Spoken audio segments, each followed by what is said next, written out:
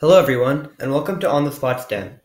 Today, we're doing problem number 23 from the 2018 10B slash problem number 19 from the 2018 12B.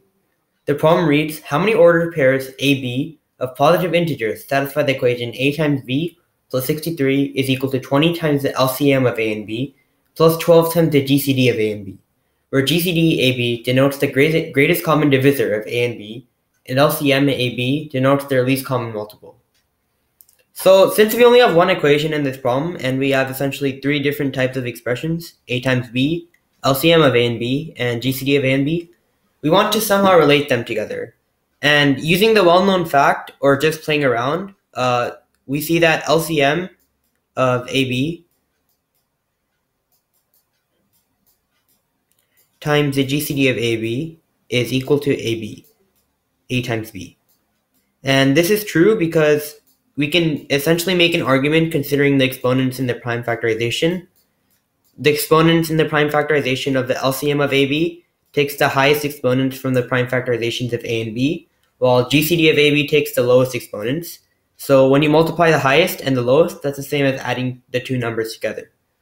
And if you don't know how to prove it from there, or don't understand that, then you can ask us down in the comments and we'll explain how.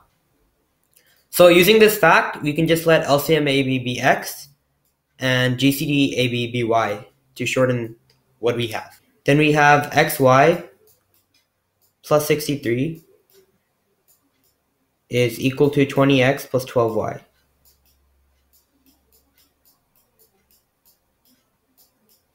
And rearranging this equation gives that xy minus 20x minus 12y is equal to negative 63. Since the right-hand side is simply a constant and the left-hand side is a product of two numbers and then subtracted by a number times the first number and another number times the second number, we attempt to factor this in the form of x minus i times y minus j for constants y and j. i and j. And this is because the right hand side is going to be uh, a product of two integers. And so if we factorize it, then we can reduce our search.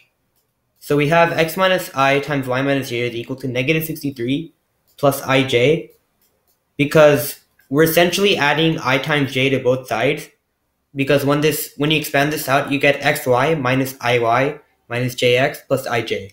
So you have to add ij to the right hand side also. Comparing coefficients gives that x minus 12 times y minus 20 is equal to negative 63 plus 240, which is equal to 177. Factoring 177 gives us 3 times 59. And it so now we have x minus 12 times y minus 20 is equal to 3 times 59. And since both of these are going to be integers, we just write out the factors of 177. These are 1, 1 and 177 and 3 and 59. So we do cases on what x is and we can solve for y through that and then we see how many solutions exist for each. And also we note that the LCM of a and b, since it takes the highest exponents in the prime factorization, it's going to be a multiple of the GCD of a and b. So that will also help us with our search. And since it takes the highest uh, prime exponents, it will also be larger than y. So x will be larger than y. So we have x minus 12 equals 1. That gives x equals 13 and y minus 20 is 177. And that gives y equals 197. But that doesn't work because 13 is less than 197. Similarly, if we take x minus 12 equals 3 and y minus 20 equals 59, we won't have a solution. If we take x minus 12 equals 177, then y minus 20 equals 1. So we have a possible solution, x equals 189, and y is equal to 21. So we have the LCM of AB is equal to 189, and the GCD of AB is equal to 21. Since the GCD of AB equals 21, we can let A equals 21 A prime, since it has to be divisible by 21, and B equals 21 B prime. So all pairs A prime B prime that satisfy this will also have solutions for A and B. So the LCM of 21a prime and 21b prime is equal to 21 times the LCM of a prime b prime, which is equal to 189. And since 189 is divisible by 21, 189 over 21 equals 9. So LCM of a prime b prime equals 9.